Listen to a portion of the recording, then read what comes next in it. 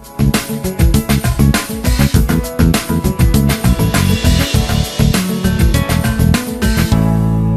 RTC driver Srinivas Reddy ఆత్మహత్యతో కార్మికులు ఆందోళన ఉధృతం చేశారు. బస్ స్టేషన్ నుంచి పౌర సరఫరాల శాఖ మంత్రి గంగుల కమలాకర్ ఇంటి వరకు కార్మికుల జేఏసీ ఆధ్వర్యంలో నిరసన ర్యాలీ చేపట్టారు.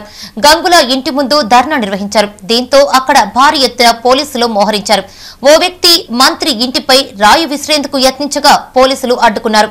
ఆందోళనలో పాల్గొన్న విద్యార్థి నాయకుడు చైతన్యను పోలీసులు అదుపులోకి తీసుకున్నారు.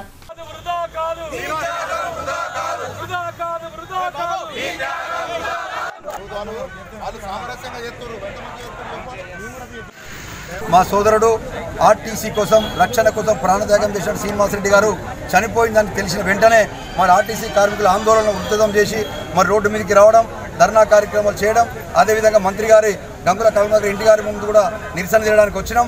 మేము ముఖ్యంగా విజ్ఞప్తి చేస్తున్నాం ఏంటంటే ఆర్టీసీలో ఉన్నటువంటి మీరు మీరు ఇచ్చే స్టేట్మెంట్ ఇలా కేసీఆర్ గారు డైరెక్ట్ ఇన్వాల్వ్మెంట్ అయ్యి ఇలా ఆయన మాట్లాడే మాటలు ప్రతి ఆర్టీసీ కార్మికుడే కాకుండా తెలంగాణ యావత్ ప్రజానికం కూడా కడుపు మండై ఉన్నది.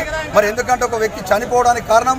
మరి ఆ రోజు తెలంగాణ కోసం పన్నెండు వందల మంది విద్యార్థుల పుట్టను పెట్టుకున్నట్టు కేసీఆర్ గారు ఈ రోజు కూడా ఆర్టీసీ కన్నా సమ్మె వల్ల అప్పటికే రెండు ఒక ప్రాణం ఉంది ఇంకొకటి ఆత్మహత్య చేసుకునే ప్రయత్నంలో కూడా కాపాడుకోవడం జరిగింది. ఈ రోజు ఈ బెదిరింపులకు గురి చేస్తే ఎంతటి ఆర్టీసీని రక్షించుకోవడానికి ఆర్టీసీ కార్మికులను కూడా మేము ప్రాణత్యాగం చేసుకోవడం సిద్ధంగా ఉన్నాం. భయపడే ప్రసక్తే లేదు.